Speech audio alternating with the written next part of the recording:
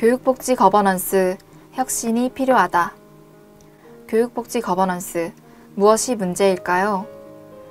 우리나라는 서구 선진 국가들에 비해 교육복지와 관련된 논의와 실천 정도가 많이 뒤처집니다.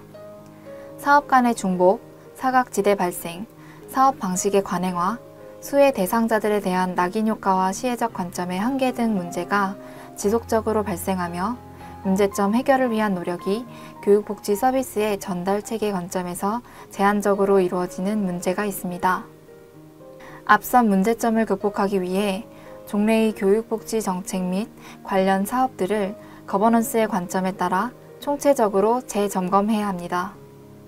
수혜자 입장에서 보다 향상되고 통합적인 교육복지 사업을 가능하게 하는 거버넌스 모색이 필요합니다.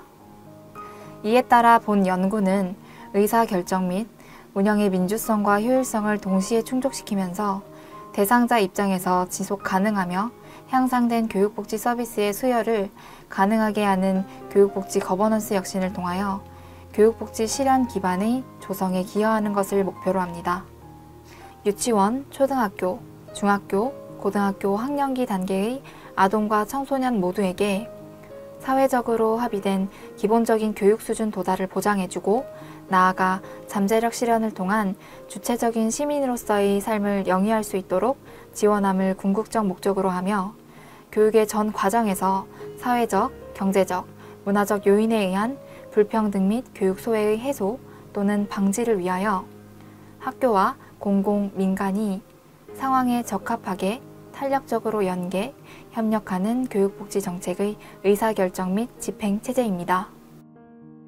교육복지 거버넌스의 기본 체제 모형은 내부에서 학교와 공공, 민간 세 주체가 의사결정 및 집행을 하며 기반적 구조, 제도적 규율과 함께 상호작용을 하는 모형입니다.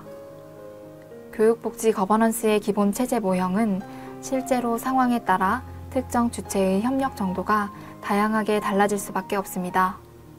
상황 결정 요인에는 해당 정책 과정, 정책 속성, 비전과 목표의 공유 정도 등이 있으며 다양성을 가져오는 상황을 토대로 최종적으로 상황 탄력적 교육복지 거버넌스 모형을 도출할 수 있습니다. 상황 탄력적 교육복지 거버넌스는 상황 결정 요인에 따라 지역형, 중층형, 대상 중심형, 학교 중심형, 정부 협력형으로 유형화할 수 있습니다. 이상의 연구 결과들을 바탕으로 하여 교육복지 거버넌스 혁신의 기본 방향과 구체적인 개선 방안 세 가지를 도출하였습니다. 첫째, 의존성을 경계하여 교육복지 생태계의 지속 가능성을 제고해야 합니다.